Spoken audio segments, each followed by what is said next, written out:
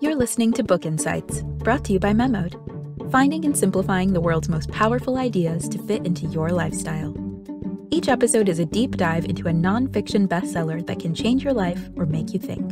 In around 30 minutes, you'll learn all about a book that offers wisdom for your life, career, or business. So get ready to live and work smarter, better, and happier with Book Insights.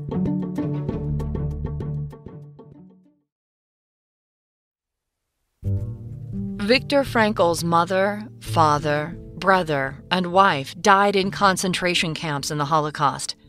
Only his sister survived. She'd escaped to Australia shortly before the family's deportation in 1942. They were first sent to the Theresienstadt ghetto, north of Prague, where his father would die. Frankl and his wife Tilly, followed by his mother, were all sent to Auschwitz. His mother immediately perished in the gas chambers. Tilly was moved to Bergen-Belsen, where she died at age 24. Frankl himself was transported in cattle cars via Vienna to subsidiary camps of Dachau. He survived typhoid fever and was finally liberated on April 27, 1945. Austrian neurologist and psychologist Viktor E. Frankl was born in 1905.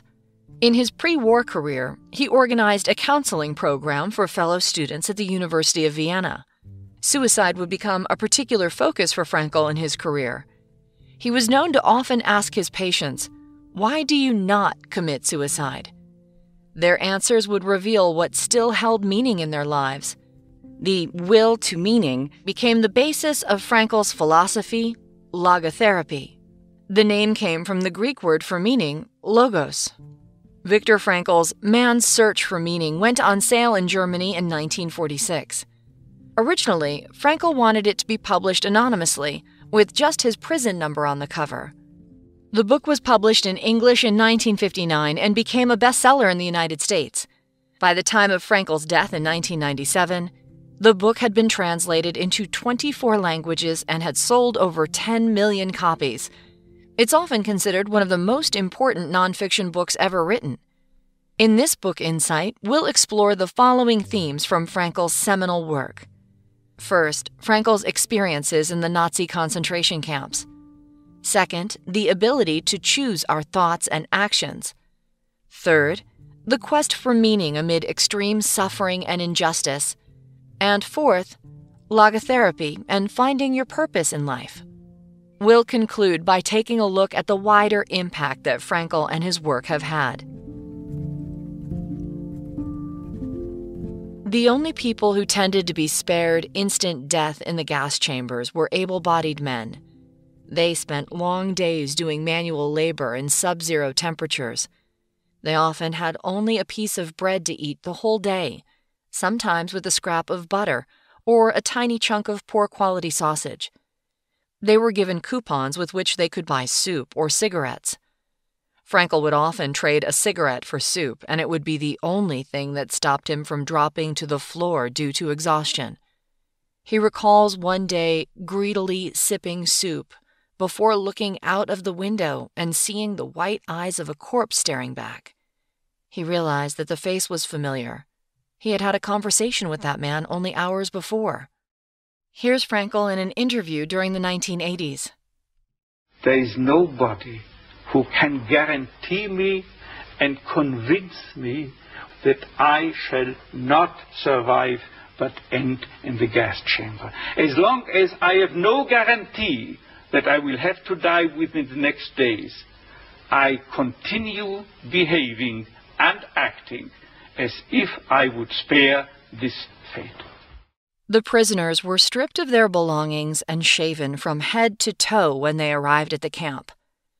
Not only were they literally naked, but they were robbed of their names and identities. Frankl remembers how, upon arrival to Auschwitz, prisoners would ask if they could keep a treasured possession, perhaps a wedding ring or a watch. Frankl himself had wanted to keep an important scientific manuscript that he wrote, his life's work, but this was taken. It was at these points that he and his fellow prisoners realized that nothing would ever be the same.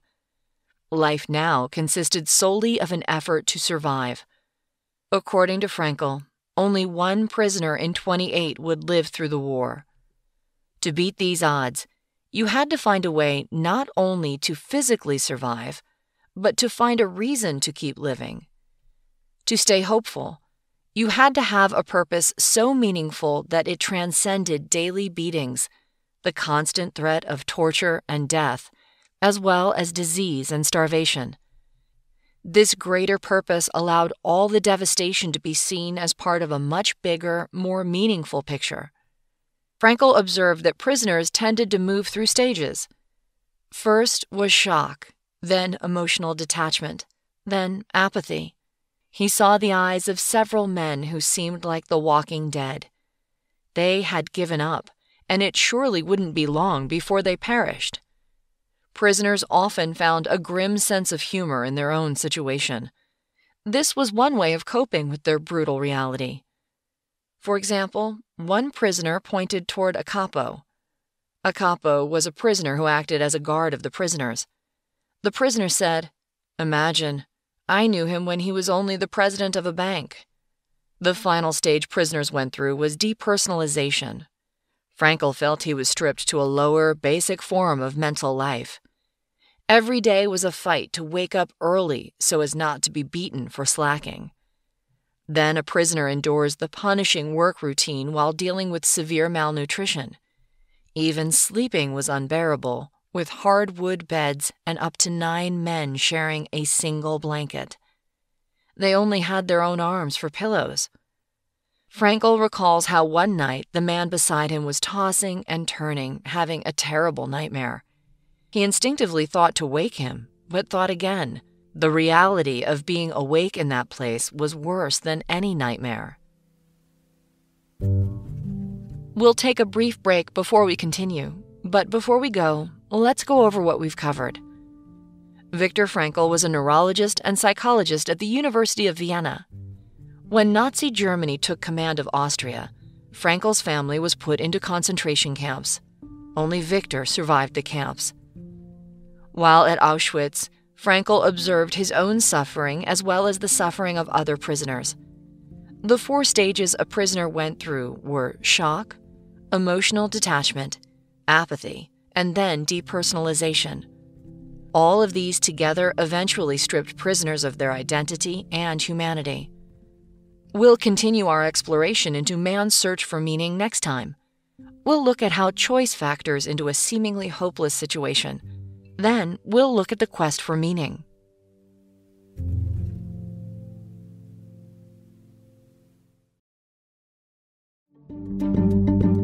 Enjoying this episode of Book Insights? If so, keep listening and learning. There's a collection of over a hundred titles you can read or listen to now at memodapp.com slash insights. That's M-E-M-O-D-A-P-P dot com slash insights.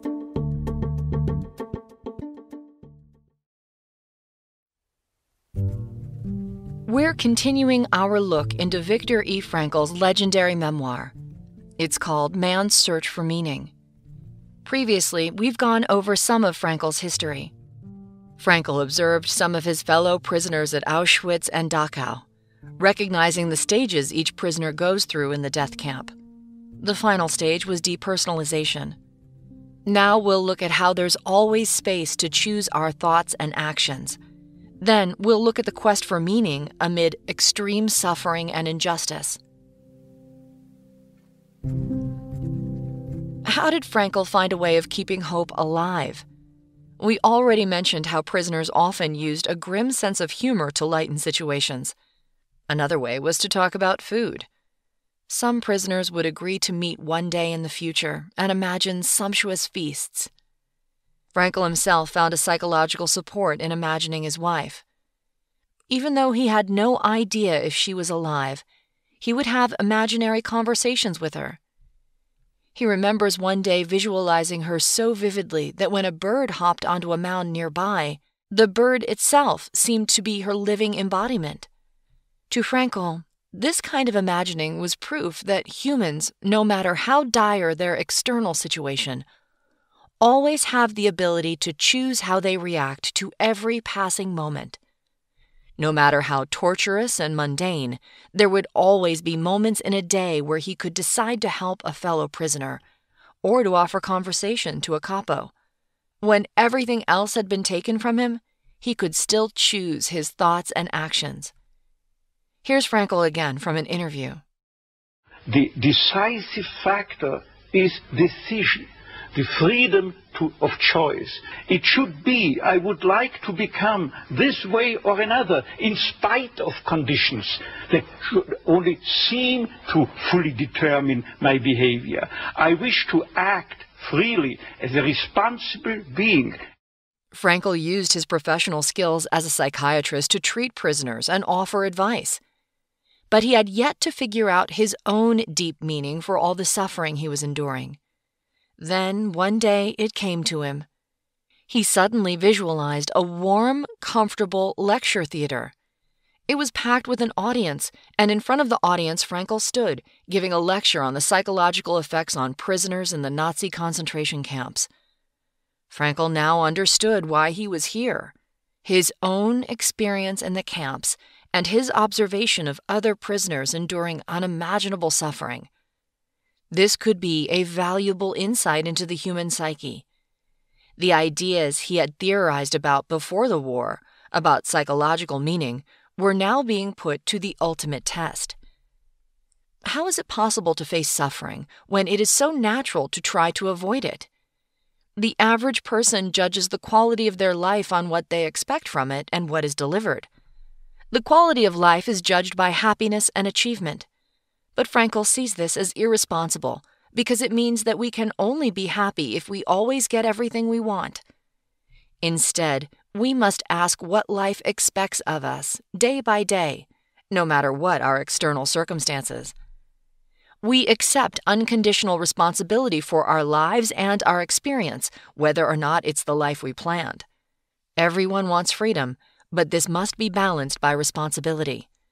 Frankl remarks that the Statue of Liberty should be complemented by another statue on the other side of America, a statue of responsibility. Frankl was liberated from Dachau by advancing American soldiers in 1945. He saw the outside of the camp for the first time and was able to freely roam country roads and fields. But Frankl remembers that it seemed unreal. There was a numbness, a disbelief. He forgot what it was like not to be under the constant threat of death. Despite their new freedom, many survivors could barely smile. Eventually, they began to recover, eating ravenously and taking joy in the world around them. Frankl remembers a spark of joy when seeing a rooster walking in a farmyard. From a psychological perspective, Frankl notes that being given such sudden freedom was dangerous. Once they returned to physical health, the men then had to come to terms with loss of loved ones, deep injustice, and the fact that for most of them, there was no home to return to. Frankl remembers walking one day with a fellow survivor and coming to a field of crops. While Frankl carefully walked around the crops, the survivor lashed out and destroyed some of the plants. He was infuriated when Frankl didn't partake, saying that these people had taken so much from them and made them suffer. Harming a few crops was the least they could do. From the time of their liberation, different people would react to injustice in their own ways. But the point Frankl makes is that we go to great lengths to not accept our own suffering.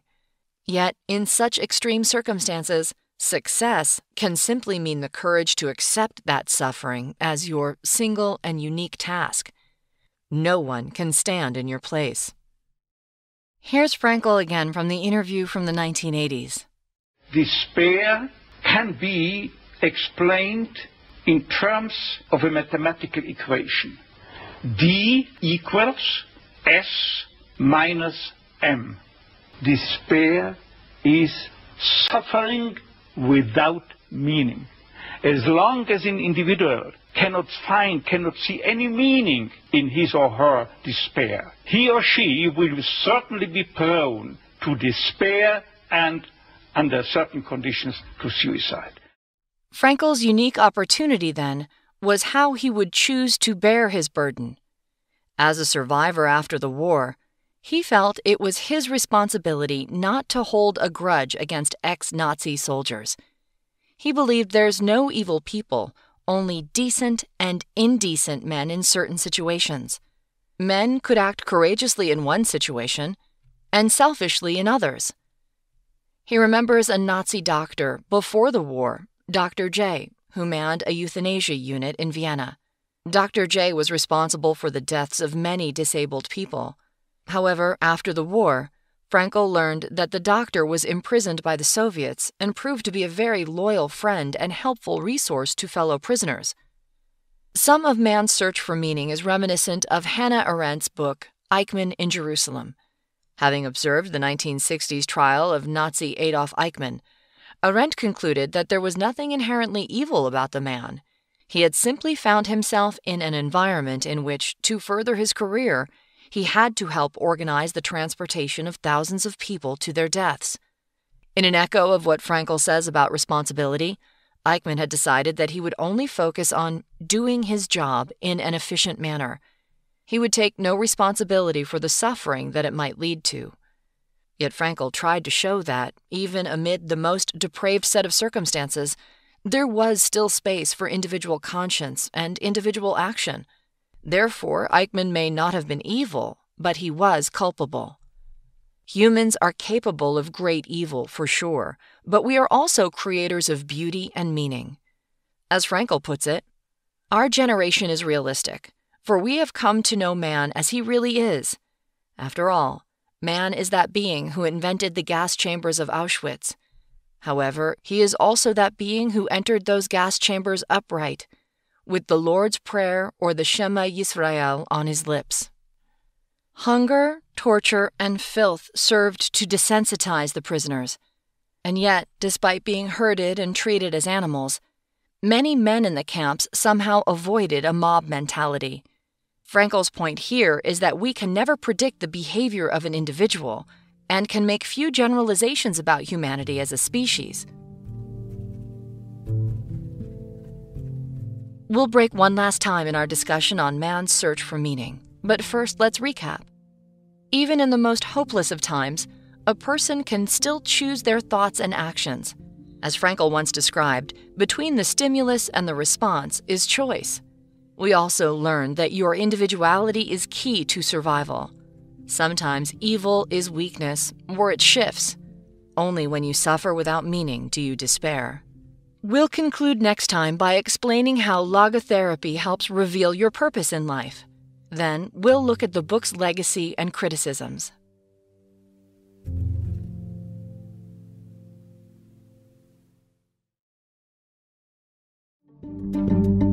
Enjoying this episode of Book Insights? If so, keep listening and learning. There's a collection of over 100 titles you can read or listen to now at memodapp.com slash insights. That's M-E-M-O-D-A-P-P dot com slash insights.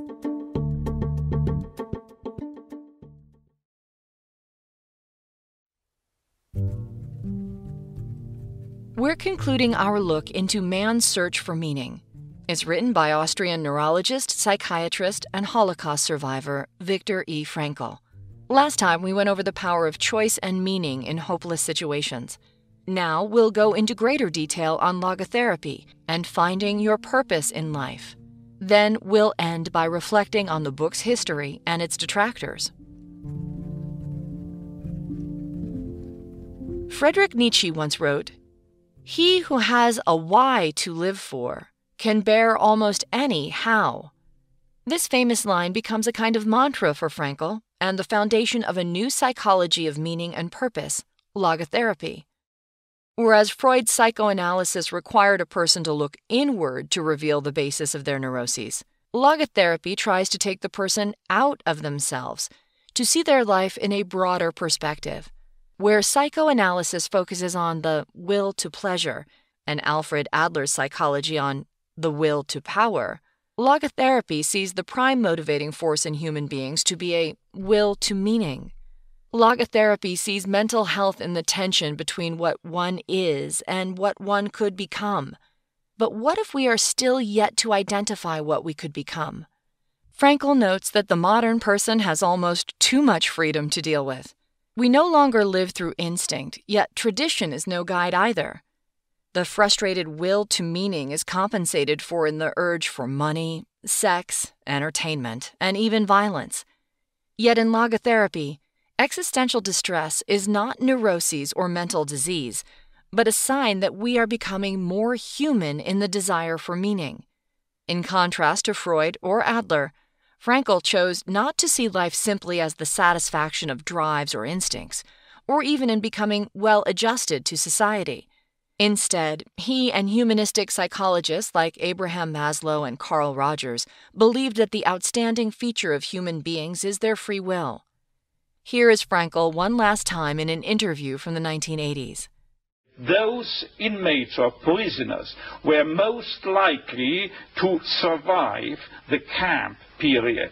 Those, I say, who were orientated toward a future, oriented to a meaning that they had to fulfill in the future, a task that they had to complete in the future, and or to be reunited with their beloved people in the future again. But how do we discover our own purpose? Imagine you are struggling to find a job. You complete applications, nervously attend interviews, only to get numerous letters of rejection. After some time, you start to see your bad luck as being a part of you, and you start to get depressed. Now, let's imagine you're sitting with Frankl explaining your problem. Frankl would firstly identify a major error here that you're conflating not getting a job with failure. You're depressed because getting a job became your only purpose. But Frankl insists there are three ways to find meaning or purpose 1. Create a project or work, or do a deed. 2. Find love and passion by meeting someone or experiencing something. And 3. Take a particular attitude towards unavoidable suffering. Pursuing happiness on its own doesn't make sense to Frankl. Happiness is a byproduct of the pursuit of meaning, which is easily found in the undertaking of a great task, project, or career. Love is also a legitimate path to great meaning. Frankl reflects on how he imagined his wife in the camp. He writes, I grasped the meaning of the greatest secret that human poetry and human thought and belief have to impart. The salvation of man is through love and in love. Finally, our unique response to suffering can give us purpose. Frankl never forgot that his suffering, no matter how painful or unjust, offered opportunities to learn about himself bit by bit. If he had railed against his circumstances, he would have felt even worse and learned nothing. Frankl makes observations on 20th century society that still resonate today. In a world of technology, innovation, and comparative wealth, many people are desperately unhappy. Frankl gives this a specific term, the existential vacuum. We now have almost too much freedom and fail to see that material possessions and physical pleasure provide only temporary happiness. To this end, Frankl's brand of psychotherapy treats existential problems and neuroses as positive characteristics, as part of a will to meaning. It's been used to treat a range of patients suffering from anxiety, OCD, depression, schizophrenia, and also mental health issues of the terminally ill. At the source of many mental health conditions are deep, debilitating fears, including the fear of suffering. By accepting in the first place that life involves suffering, we are then freed up to pursue a life of meaning. Yet paradoxically, it's only this kind of life that is likely to lead to more fulfillment and happiness. Okay, let's have an overview of what we've learned in this book Insight. We first examined Frankl's experiences in concentration camps in the Holocaust. While he endured unimaginable suffering, he found a way of using his imagination to transcend his external circumstances and ultimately to visualize his future. We delved into the psychology behind Frankl's work and his idea that responsibility is an essential component of leading a meaningful life. Ultimately, the courage to accept suffering is a decision only we can make, but it's the basis of psychological maturity. We also explored how Frankl's logotherapy can help treat the existential problems we all face. Frankl's career in psychiatry resumed soon after the war. He was appointed head of the Vienna Polyclinic of Neurology. He became a professor of neurology and psychiatry at the University of Vienna in 1955. In the 1960s, he was a visiting professor at several U.S. universities. Just as he'd imagined in the camp, he gave hundreds of talks. He'd received 28 honorary doctoral degrees for his work. Logotherapy never became a major stream of psychotherapy, but Frankl's work has inspired many, particularly in the field of personal development. Stephen Covey, for instance, cites him as a major influence in writing The Seven Habits of Highly Effective People. Frankl's message also chimes with the Stoic teachings of Seneca and Marcus Aurelius. Frankl has faced criticism that he gives a distorted perspective of prisoners' lives in Auschwitz. Critics cite that in actuality, he didn't spend a lot of time in the camp. He was fortunate to be transferred to the less barbarous Dachau. It's also been noted that the will to meaning could be used for evil as much as good. Who is to say that cruelty or fascism is not meaningful for the people who practice it? Despite these criticisms, the fact remains that Frankl's book contributed to public education on the atrocities of the Holocaust and continues to provide much needed perspective to readers. The survivors of concentration camps were often left broken on all levels. They spent the rest of their lives reliving the trauma. In this sense, surviving the camps was only half the battle. Man's search for meaning sheds light on the meaning Frankl found that helped save his own life and has helped millions find meaning in their lives ever since.